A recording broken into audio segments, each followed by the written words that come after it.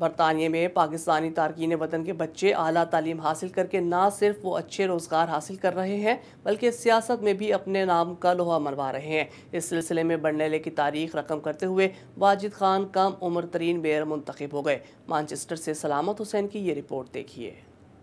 सबक मेंबर यूरोपीय parliament Wajid Khan Burnley council के मेयर मुंतखब हो गए हैं। Mayor making ceremony virtual technology के ज़रिए मनद हुई। वाजिद खान को यह एजाज़ हासिल है कि वह बरनेले की तारीख में कम उम्र तरीन मेयर मुंतखब हुए हैं।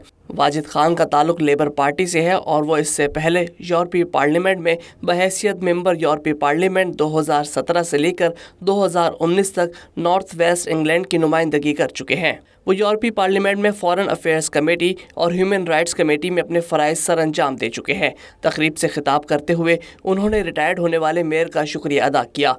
कोरोना वायरस के फैलाव को रोकने की हुकूमती गाइडलाइन के मुताबिक उनके वालदेन तकरीब में शिरकत नहीं कर सके। तहम उन्होंने इस तकरीब को बंडैले काउंसिल की वेबसाइट पर बरह रास्त देखा।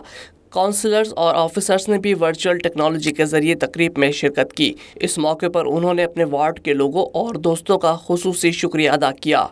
Salamat Hussain voice of South Asia Manchester